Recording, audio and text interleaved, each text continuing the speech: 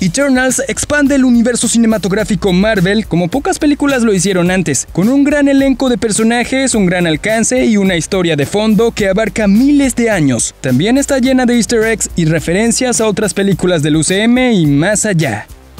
Al interpretar a Cersei, Gemma Chan se une al antaño escaso y ahora creciente Club de los Dobles del universo cinematográfico Marvel. Por si no lo recuerdas, Chan interpretó a la francotiradora Cree Minerva en Capitana Marvel del 2019, aunque se te podría perdonar que no te dieras cuenta, con la actriz de Crazy Rich Asians, siendo básicamente irreconocible bajo capas de maquillaje azul. Es una de las pocas actrices que interpretó diferentes personajes dentro del UCM, pero si incluimos otras películas basadas en Marvel Comics, de Fox, Sony o la marca Marvel Knights de Marvel Studios que no pertenece al UCM, muchos actores interpretaron varios personajes. Esto incluye a Chris Evans que interpretó a Johnny Storm en las películas de los Cuatro Fantásticos de Fox antes de vestirse como Steve Rogers, Josh Brolin que interpretó a Cable en Deadpool 2 de Fox, además de a Thanos en el UCM. Idris Elba, que apareció como Monroe en Ghost Rider, Espíritu de Venganza, el mismo año que empezó a interpretar a Heimdall en las películas de Thor. Michael B. Jordan, que también interpretó a Johnny Storm antes de convertirse en Killmonger y aún más. A este grupo se unirá pronto Aaron Taylor Johnson, programado para interpretar a Craven el Cazador para Sony, visto anteriormente como Quicksilver en Avengers Era de Ultron, y Mahershala Ali, que pronto protagonizará Blade tras ser visto previamente en Luke Cage.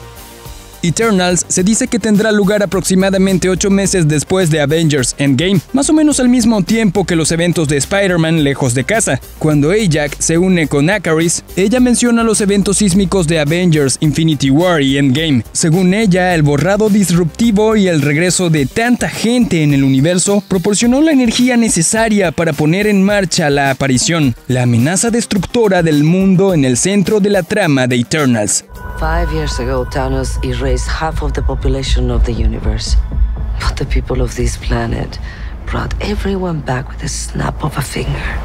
Más tarde, Dane Whitman saca a relucir una pregunta relevante sobre la implicación o no de los Eternos en esos acontecimientos. Why didn't you guys help fight Thanos? Or any war, all the other terrible things throughout history? Cersei justifica la ausencia de los Eternos diciendo que la humanidad nunca habría tenido la oportunidad de desarrollarse si los superseres se hubieran pasado miles de años interviniendo en cada crisis, lo cual tiene sentido, aunque no quede bien. Incluso Pepper Pot se adaptó para luchar contra Thanos. Entre otras referencias a eventos recientes del UCM, hay un noticiero sobre el sospechoso terremoto de la película, y se escucha a alguien especulando que podría tener algo que ver con el blip.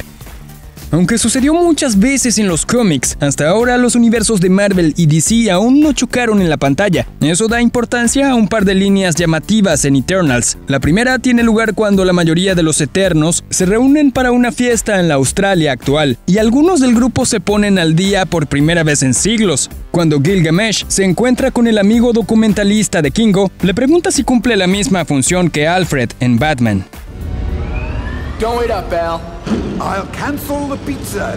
El segundo caso ocurre luego, cuando Icarus visita Chicago y a la familia humana de Fastos. Cuando Icarus se encuentra con el hijo de Fastos, el niño comenta que lo vio en los reportajes de televisión sobre los ataques de los Deviants y que lo reconoce como cierto superhéroe. Dad, that's Superman with the cape and you're shooting laser beams out of your eyes. I don't wear a cape.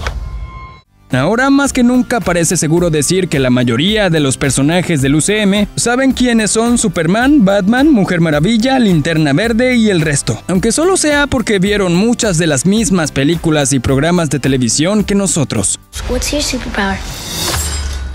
El UCM lleva en marcha desde el 2008, pero Marvel Studios sigue intentando alborotar a los adolescentes con referencias oportunas a medida que pasan los años. ¿Fortnite? ¿Alguien? Thor, he's back. That kid on the TV just called me a kid again. El ejemplo más evidente de esto en Eternals es la escena post créditos de la película, que trae a Harry Styles al UCM. Pero otro acto musical mega popular también recibe una mención en esta película. El fenómeno mundial conocido como BTS La primera vez que vemos a Kingo en la actualidad, parece que se lo está pasando genial. El Eterno es una estrella de Bollywood que convenció al mundo de que su padre, en secreto, y su abuelo, también en secreto, eran actores de Bollywood de generaciones pasadas. Como nunca parece mayor, Kingo lleva décadas protagonizando películas de Bollywood con nombres como Shadow Warrior 2, Voyage of Time, mientras explica que su carrera en el mundo del espectáculo a sus supuestos amigos de la universidad, Kingo hace referencia a BTS. En unos instantes pasamos a la siguiente escena, marcada por la canción Friends de BTS.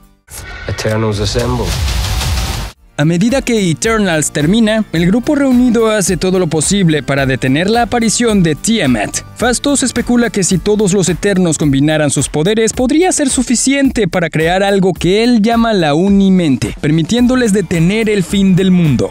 Si conoces a los Eternos por los cómics, sabes que esto no es una mera especulación. En efecto, los Eternos emplearon la Unimente en múltiples ocasiones, que a veces se manifestó en la página del cómic como un ser sin género de luz, mente y energía pura. Normalmente solo el primer Eterno puede invocar a la Unimente, por lo que en la película se ve a la Cersei de Gemma Chan tomando el mando. La Unimente nunca parece adoptar la forma de un ser, pero está claro que los Eternos restantes se unieron para apoyar la hipótesis de Fastos, vinculando sus mentes y volviéndose más poderosos como equipo que por separado.